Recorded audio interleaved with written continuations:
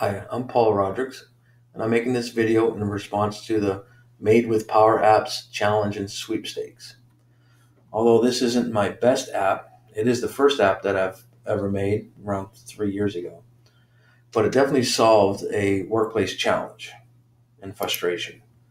One of the frustrations was that we have five different shipping locations, and when trucks come to pick up product, they have to go to each one of these locations scattered across the city before the trucks head outbound.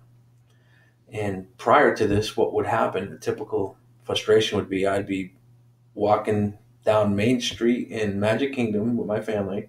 I'd get a phone call asking about the trucks, if anybody's seen the trucks and all that. So then I would have to make several phone calls and then wait for the phone calls to come back, only to find out oftentimes the truck was already on property, but on a different property, but there was no communication. That's where the idea of the app was born.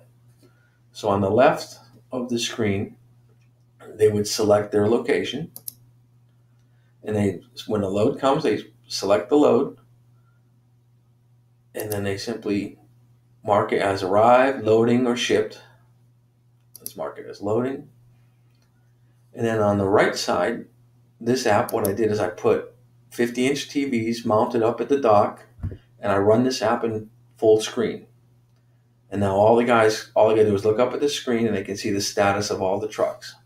What you're looking at here is all the different stops that the truck has to make to pick up the product. Each stop represents a different shipping location. And the number represents the actual location number that they're going to. And then, of course, the colors just kind of indicate the different statuses of the truck.